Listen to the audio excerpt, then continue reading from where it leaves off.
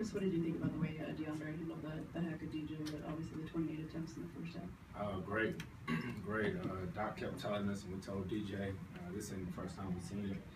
Uh, and I mean, I just kept telling him embrace it. you know, it is what it is. Uh, he went to the line. Uh, you know, he made a few, and it was huge. What do you think it says about your offense that three minutes and 40 seconds into a game that they feel the need to, to start intentionally fouling? Was it that something? Yeah. Um, uh, I don't know. It is what it is. It's part of the game. Uh, you know, people be talking about should they ban it, whatever. No, it's part of the game. Does it give you confidence, So, I mean, not that you guys need it, but even more confidence in your offense and, and kind of what they think about their chances of stopping it? Uh, I guess if you think about it, when you think about all that during the game, you just thinking about uh, we got to defend. You know, because that's one of the biggest things. Because um, you know they're fouling, and we just got to make sure that we we play de- defense. Chris, the Clippers have a chance to move on to the Western Conference Finals for the first time in franchise history on Tuesday. What does that mean to you guys as a team? Um, it means that us as a team have an opportunity to, to win on Tuesday. Like, yeah, I mean it's about us, not about the Clippers franchise and all. It's about us in that locker room. We just gotta go out there and play.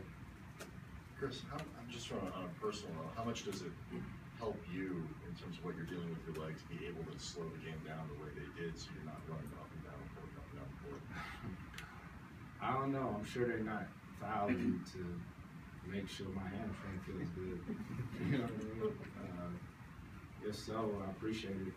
I guess I don't know. Uh, I'm feeling better. Uh, I think that's all that matters, and um, we just gotta stay hungry for the game on Tuesday. Chris, let's speak to the confidence you guys are playing with right now. You, you, these last two games were kind of close at the half, and you pulled away. And it just seems that there's a confidence or swagger about this team right now. Uh, I think our confidence comes when we defend.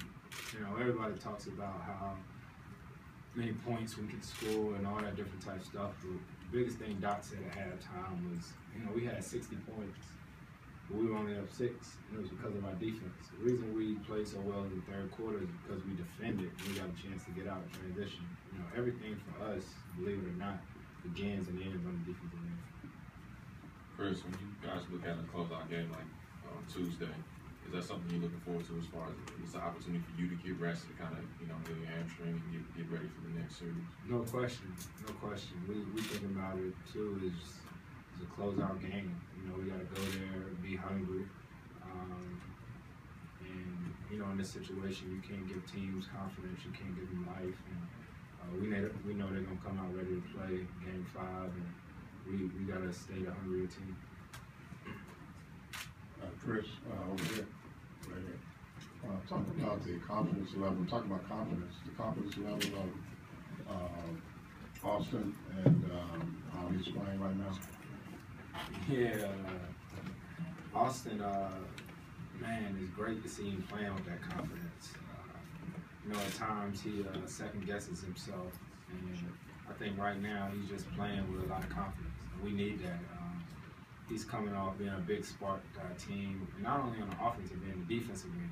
You know, he's playing both ways, and we're, we're going to need him to continue to do that. Chris, to have Austin be a credible scoring threat, how much easier does that make it on Jamal with the second unit? And, I, I think it makes it a lot easier on Jamal and uh, you know with our first unit and our second unit, it's all about ball movement.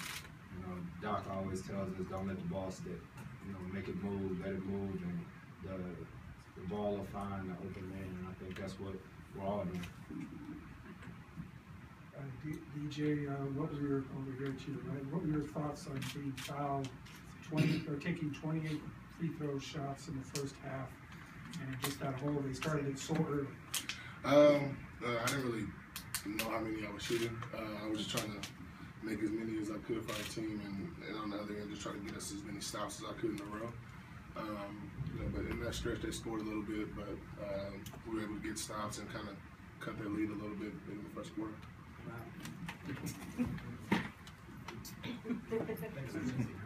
Thanks, Chris. All right, DJ. Um, in all three victories, you guys have really kind of blown the game open in the third quarter. What, what is Doc saying to you guys? What are you saying to each other? How have you been able to kind of take that third quarter to him uh, and build a big lead?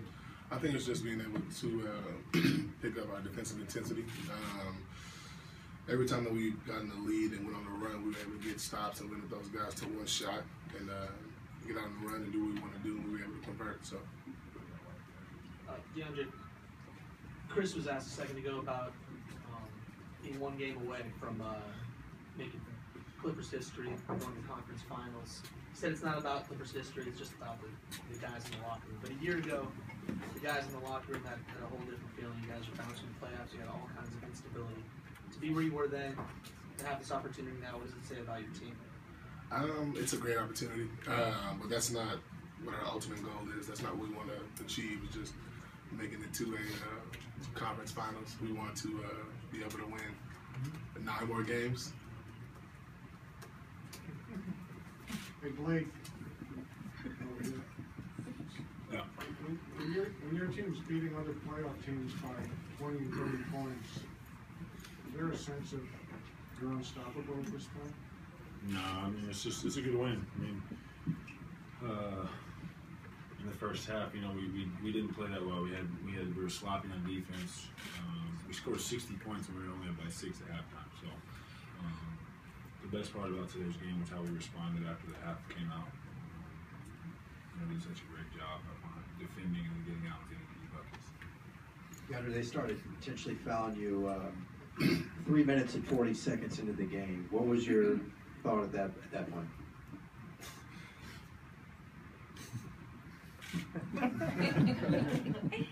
It was, uh,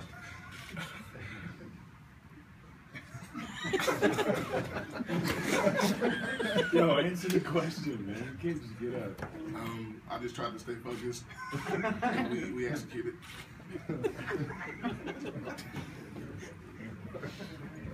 Hi, Blake. You're welcome.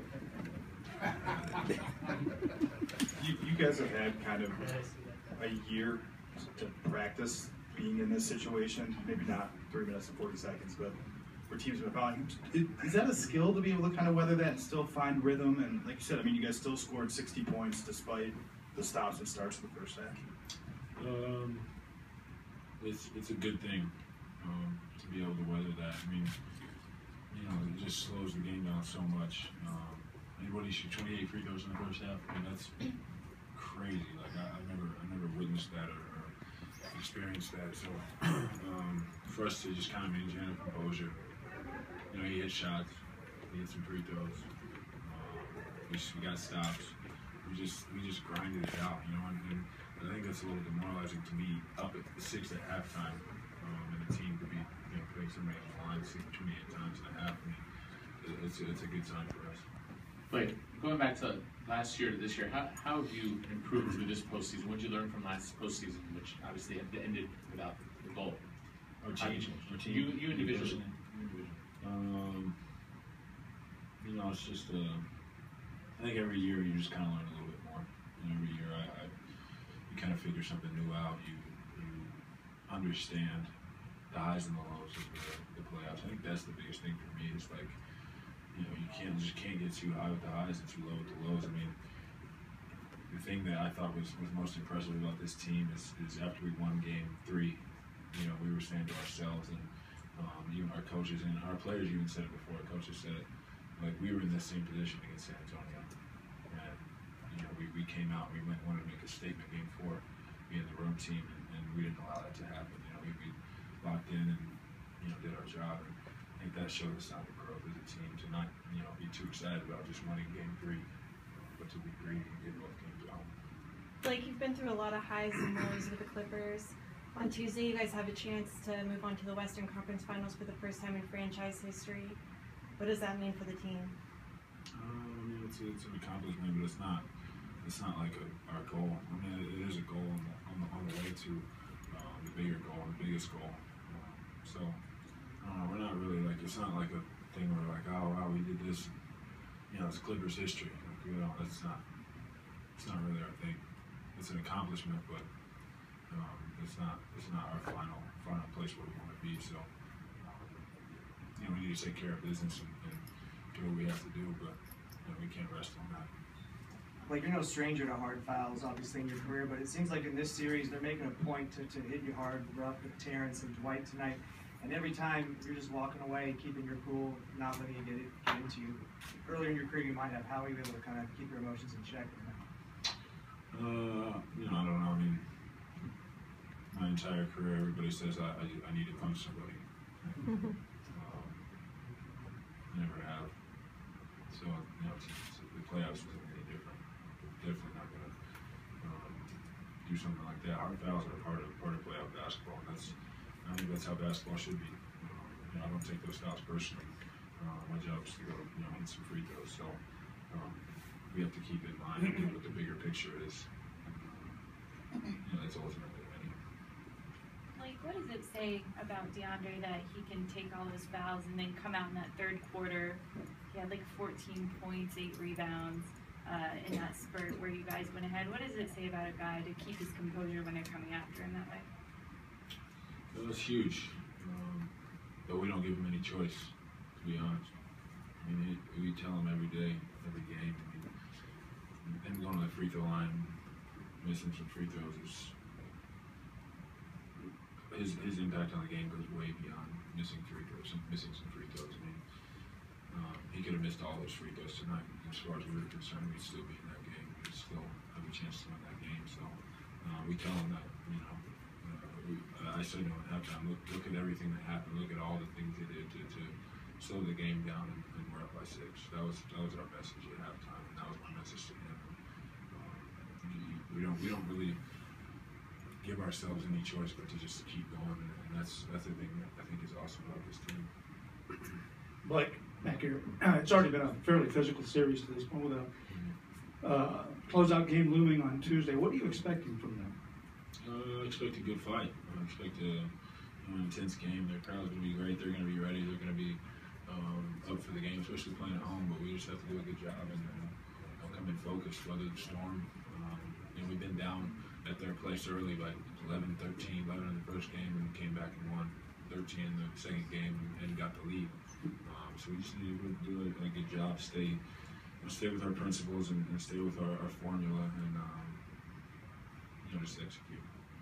Hey, Blake since that game seven win over the Spurs, it seems like you and the team, but just the team, is playing with a new confidence or swagger. What did that series going through all that teach this team? Uh, I think it kind of just gives you a, a, sense of being a little battle tested. You know, when you play a team like the Spurs um, in the first round and, come out like that, um, you know, kind of gives you that feeling of, accomplishment to the to the to the point of like being down two one early on the road, winning two games at their place. It just kind of gives you confidence as a team, but really the whole season has led up to this point. You know, I think we we realize as a team what we're capable of when we play the right way. Um, it's just a matter of coming out the right way. Like throughout the year, the bench was kind of up and down, but it seems like they've kind of found a rhythm here a little bit. How big have those contributions been from those guys? And I mean, I think you outscored their bench tonight, I think almost two to one. And getting Austin as a second scorer, how important has that been to, to kind of your success here in the series? Oh, it's huge. And Austin, Austin, huge. Uh, but not just Austin. Obviously, always Jamal. Jamal always brings a, a punch for us. Um, Spencer, the last two games, played great minutes. Big Baby's played huge minutes in the Spurs series and, and this series. I a little, little uh, banged up, but he's, you know, he's when he's out there, he changes the game with his energy and his presence. Um, so I mean, it's, it's, great to see guys. I mean, just kind of getting outside of themselves and, and just saying, you know, I'm just going to do whatever, whatever it takes. And uh, it's, it's really, it's really shown. You know, even games like even if the bench doesn't come in and outscore team by you know, two to one, it's uh, you know their presence and, and um, their their spirit on defense. Thanks, guys.